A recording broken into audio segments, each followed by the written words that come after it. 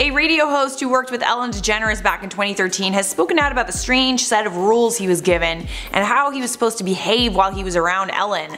I got the tea and I'm gonna spill it here for you on IO. What's gravy fam jam? This is Inform Overload. I'm Charlotte. Subscribe for the spiciest trending news updates on YouTube and follow the IO team on social media. Neil Breen is a radio show host who runs 4BC Breakfast in Australia. He also worked as an executive producer on the Today Show in Australia back in 2013. During his time working on the Today Show, he was part of a team that that interviewed Ellen DeGeneres in Melbourne. He claims that there were some strange conditions for working for Ellen. Firstly, he and his crew had to fly out of Melbourne at their expense to tape the interview. He said, I quote, Originally she was going to co-host the Today Show and then she was going to do this, then she was going to do that, and the whole thing got watered down to Ellen DeGeneres would do a sit-down interview. Because it's the Ellen Show, they controlled everything. They controlled the interview seats, the lights, how it would work, everything. The producers called us aside and said, okay, this is how it's going to work here this morning. Ellen's going to arrive at 10 15 and she'll be sitting in this chair here. And Richard, you'll be sitting in this chair here. Neil, no one's to talk to Ellen. So you don't talk to her, you don't approach her, you don't look at her.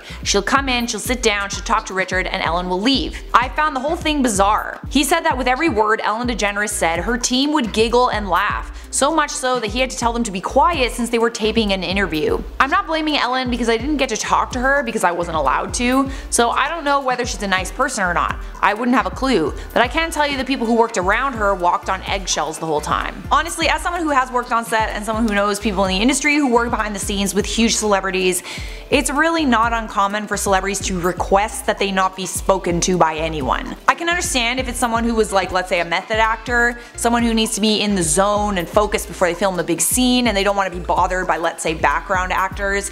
Cause you know, that's kind of a thing. You're on the set of a big TV show as a background actor and you're really close to these celebrities. You want to get like selfies with them and stuff. And you're so close that you can actually see how much makeup they wear when they're shooting.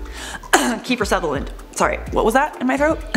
it really doesn't surprise me that Ellen doesn't want to be spoken to by the little people, as they call them. That's kinda just how it works. Not saying it's right, but I'm just telling you, Ellen isn't the only celebrity that makes these kind of demands. I used to take a lot of photos of famous DJs and I can tell you that Tiesto, for example, wouldn't allow photographers to photograph him from up close. And we were only allowed to take photos for the first 5 minutes of his set. That kind of limited the amount of photos, whether they were good or bad. Um, I think maybe that might have had something to do with he was getting a little bit older and he didn't want there to be unflattering photos of himself. Beyonce also makes sure that there's only specific photos of her that get released. Her team makes it so that only photos approved by her and her team will make it into tabloids and news articles. To a certain extent, I get it. I feel like when you get to be a huge celebrity like that, you can make these kinds of demands. You have like a lot of power. But it's still interesting to find out how far some celebrities go and what specific demands they make. I feel like we can make a top 10 about that. How do you guys feel about that? Do you have any experiences with celebrities making weird demands? Do you think celebrities should be able to make weird demands? Would you make weird demands if you were a celebrity? I would order M&Ms and have all the brown ones picked out. Cause they look like poop. Tell me a weird demand that you would make if you were a celebrity on your rider. Let me know down in the comments. For now, I'm gonna wrap up this video with some comment features.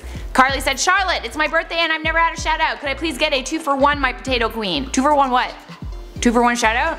Shout out and birthday shout out? Happy birthday, Carly. I hope it was amazing. Kane Snow said, Charlotte, keep sharing your opinion. Even CNN does. I think I might.